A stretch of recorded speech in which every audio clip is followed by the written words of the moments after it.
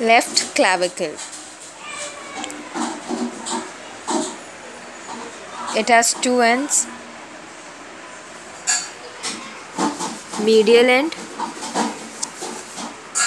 which is quadrangular and lateral end which is flat. The medial end is two third of the shaft. The lateral end is one third.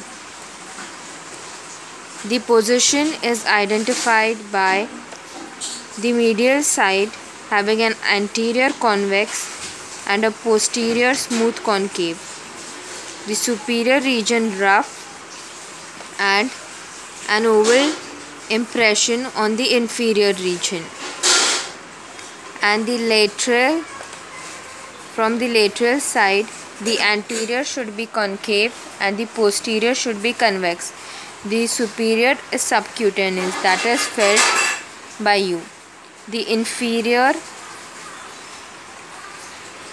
has an elevation of a conoid tubercle, conoid tubercle and a trapezoid ridge.